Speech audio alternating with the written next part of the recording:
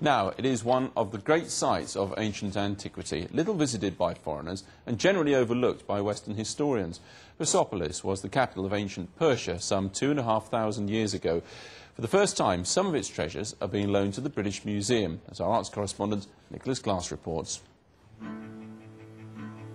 The ancient Persian capital of Persepolis, and on a sweltering public holiday swarming with young Iranians, there's a curiosity in Iran about their pre-Islamic history.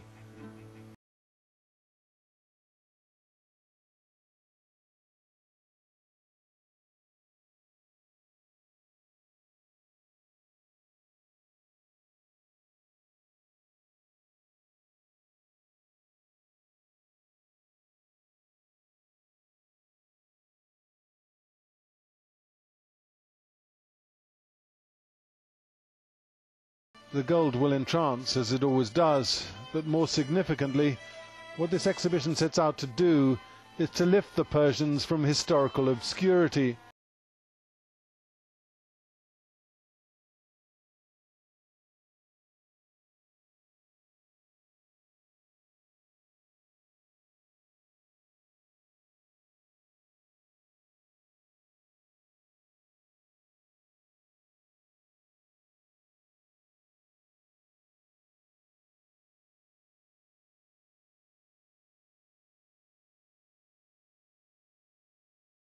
Call it forgotten because although it hasn't been forgotten in Iran, and that's an important point to stress, it has, I think, been forgotten in the West uh, in comparison with Greece, Rome, Egypt, Babylonia, Assyria. It's very poorly known.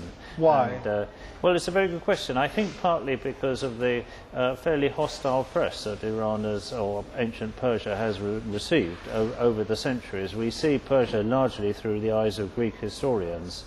Um, and Greece was at war with Persia, so their accounts on the whole are not very complimentary. John Curtis was our guide in Persepolis earlier this year. To negotiate loans for this exhibition, he's been to Iran four times. Ultimately, the Iranians have been very generous. The almost life-size stone dog, a prize exhibit in the National Museum in Tehran, has come to London, along with some 80 other objects. Gold and silver is kept in the vault in Tehran and is seldom exhibited. They don't have adequate security. But the gold bowl we were shown there is now in a packed glass case at the British Museum. And so too a spectacular gold dagger, its hilt decorated with lions' heads. Strangely enough, one of the most impressive things in this exhibition isn't for real. It's a plaster cast.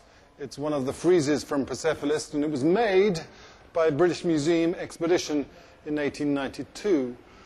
113 lucky years later, it's finally been brought out of storage for exhibition.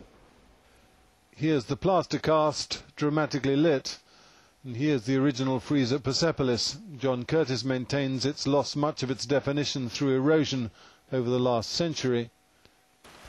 An Iranian curatorial team flew over to London to help with the show. Here a bronze stand from Persepolis, made up of three lions, is unpacked. It may well have been used for incense burning. We spoke to the chief curator before she left Tehran. Like John Curtis, she studied the ancient Persians for 30 years. For me, because you know it's a long time that I'm working, and then when I see that, that everybody is interested in this, I feel I feel really satisfied. I'm satisfied with that. What do you think about lending to the British Museum particularly? Well, British Museum is uh, one of the museums that we are we have a long, long relation with. So oh, I feel happy. That's very nice. It's very nice. A few objects were too heavy or too precious to loan. To be blunt, those that have travelled look better exhibited here. Control lighting rather than daylight. For the British Museum, there was one last-minute anxiety, the surprise election in June of a new president allegedly unsympathetic to the West.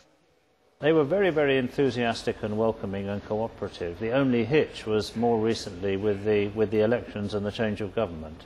Okay, so was there a moment when you thought, well, after all this trouble, we're not going to get it?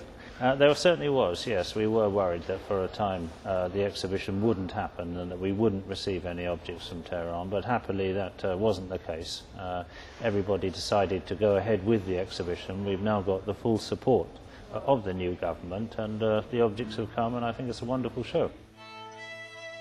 In a multi-ethnic empire, the ancient Persians encouraged religious tolerance.